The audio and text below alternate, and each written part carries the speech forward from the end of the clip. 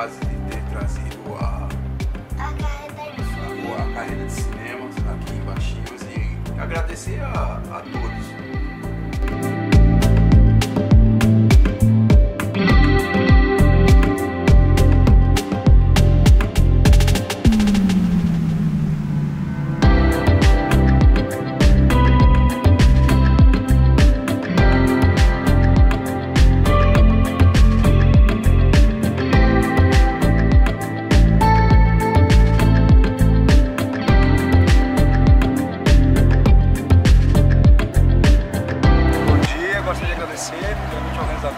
Evento, né, o Ministério do Turismo, Secretaria Especial da Cultura, a Ferbasa, o circuito cultural muito importante para os jovens, parceria com a escola, eu acho crucial, fundamental, porque são poucos que têm essa oportunidade, um filme como esse ajuda as crianças a sonharem, né, acreditar que a vida, mesmo com todas as mazelas, ainda tem sua poesia, e o poder da música.